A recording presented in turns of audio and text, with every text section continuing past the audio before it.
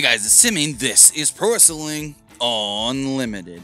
So coming up at NXT TakeOver Toronto, the main event with the NXT Championship on the line is a three stages of hell match. William Regal did announce that Adam Cole and Johnny Gargano would each get to pick a stipulation.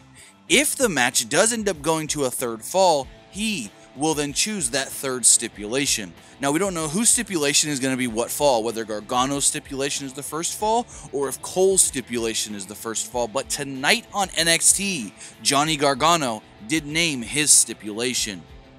Johnny Gargano did state that in New York, he would do what it took to become NXT champion.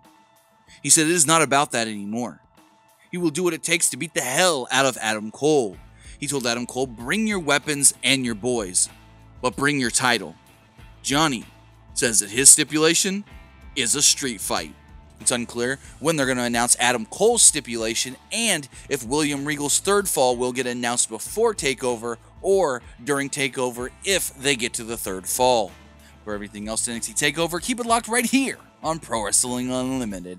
But that's going to do it for this episode. Remember to comment below, like and share this video, like us on Facebook, Instagram, and Twitter, subscribe here on YouTube, and follow PWUnlimited.net for the latest in pro wrestling news.